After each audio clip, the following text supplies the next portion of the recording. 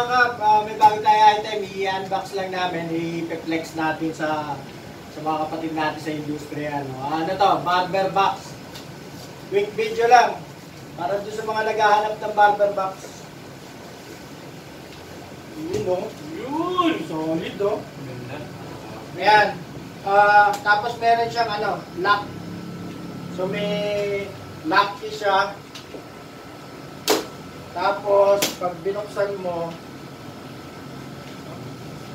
yun. So meron na siyang meron na siyang ano, ah, guide organizer, no? So ito. Tapos ito yung mga item ko ano isang ano. Ah, Sobrang secured yung ano nyo rito mga kap.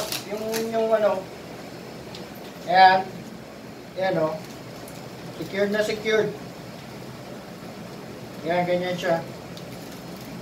So, hindi, hindi siya basta-basta maano. Gagalaw.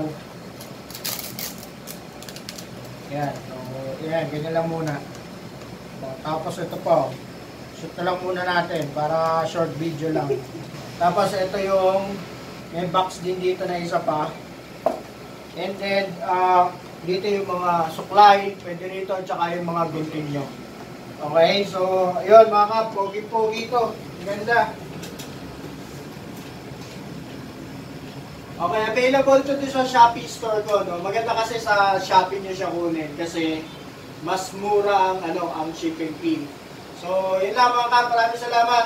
Barber Box. PM lang, PM. Thank you.